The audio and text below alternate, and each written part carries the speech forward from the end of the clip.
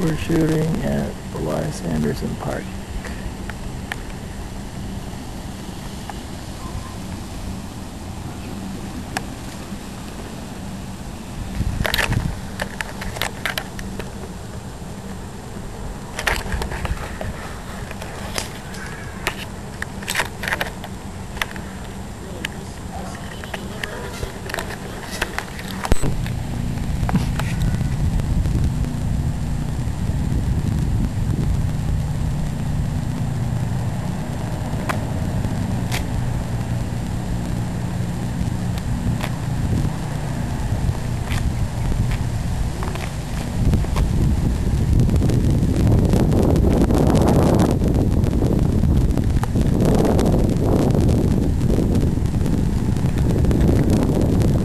man.